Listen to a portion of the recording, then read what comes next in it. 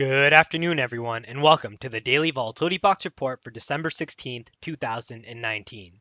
We are TOSindicators.com, home of the Volatility Box.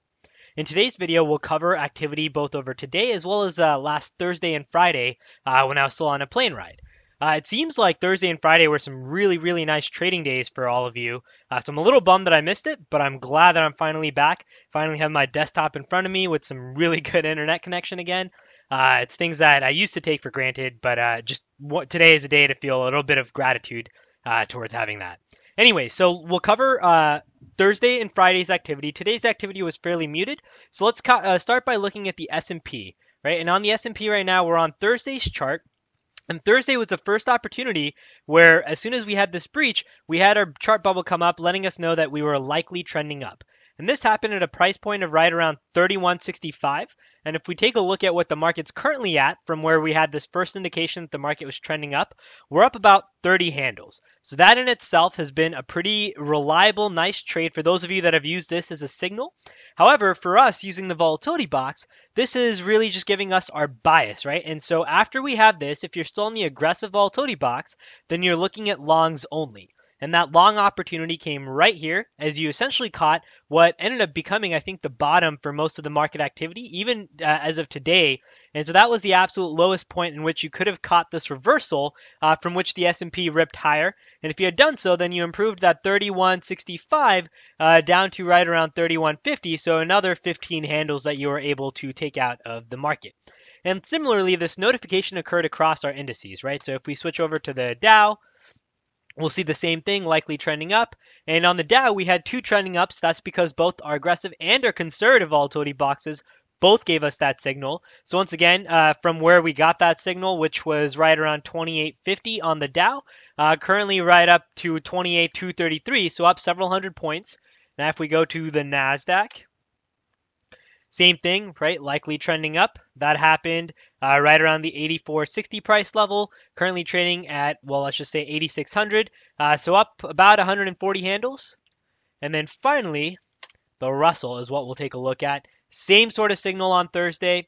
Uh, and that was trading closer to 1644, 1646, and we're currently at 1654. So a little bit less of a gain in the Russell compared to the other indices, but we can see from where we had this first initial sign that, hey, the markets are likely trending up, what the volatility box continued to do. So that's takeaway number one, just having that sort of information.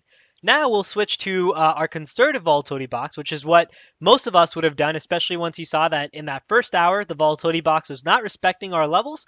And so if you weren't using this as bias and still looking to fade both sides, then the conservative volatility box is what you needed to use, especially if you were considering remotely the idea of a short. Right, and so now if we switch on over to the conservative volatility box, we'll go through the same set of indices again. So now in our conservative volatility box, we see that price still exceeded, again giving you that bullish bias.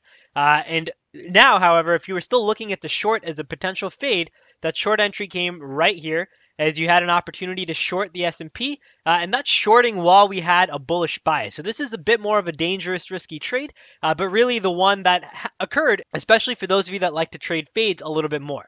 Uh, and now if we continue on to the next day, the conservative volatility box again gave you an opportunity to get long, uh, as price fell into our volatility box. You stayed inside of the volatility box, giving you again a really nice reversal. And if you kept in mind uh, the previous day's bullish bias, then that continued to help you with this bullish overall bias that helped you take out some really nice gains, right? Because that was still once again at the 3165, and we ended up at we're currently at 3194, right? And so this was your second opportunity to really buy close to that 3165 mark uh, up about two points, uh, but still giving you that really nice entry with a nice risk to reward that ultimately set you up for a really nice longer uh, play, uh, especially if you had multiple contracts. And if we go down the line once again, and this is how we'll conclude tonight's video, is looking at what the conservative volatility box here, uh, we see that it still breached outside of the volatility box in that first hour, so really not uh, the the safest to fade for anything short, but you were good for anything long using our volatility boxes.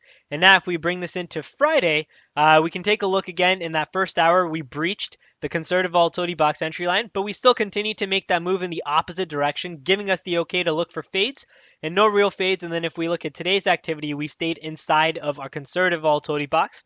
Now if we go to the Dow, and we'll bring this back to Friday's activity, we see something slightly different in which the Dow did give us an opportunity to go long towards the end of the hour, but still did give us an opportunity to get long.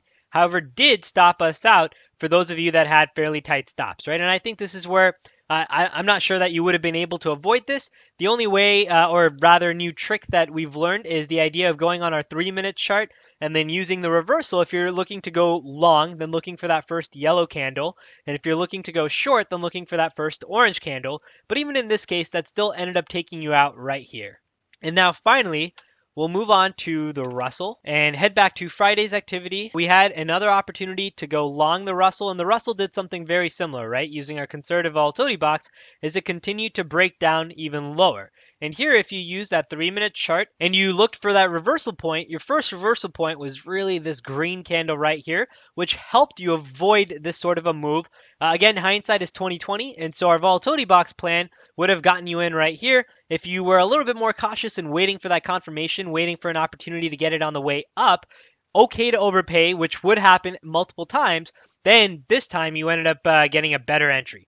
So really, that's based off of your own trading style and uh, risk tolerance, uh, which sort of entry you got. And for those of you that trade ETS, then this was a, a bearable move for you to hold through uh, and really see if you got that sort of follow through based off of that overall bullish bias that we were able to cultivate off of Thursday's trading activity. All right, so I hope that video recap helped. Uh, the idea of a little bit bigger picture, where if we now go to our daily chart, we can take a look to see from where we had our entry, which was, uh, we'll just use the ES as our benchmark, the 3165 uh, and from there, where the markets have currently gone, and if 3165 ends up becoming a little bit bigger support, or if price can come back down, touch 3165, overlap with some of our volatility boxes before continuing to make a move up higher, especially against all odds and defying what people consider to be an upcoming recession right now, we're seeing the market just continue to rip higher. So let's trade the charts that we see in front of us, uh, and we'll use the volatility box as information and see what happens in the marketplace.